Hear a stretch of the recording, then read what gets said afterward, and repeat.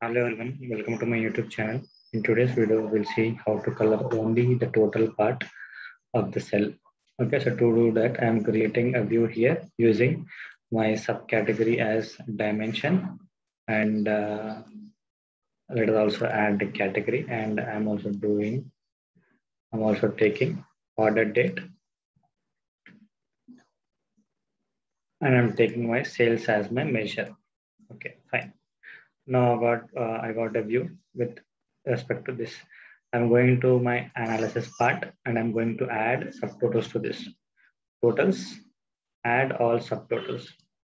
Now you see, this is our problem statement. So the requirement here is I want to color only this part here and I want the remaining to remain same. So we can do that by just right click here and click on format and go to shading option here. See, click on this and we want to color only the total part here.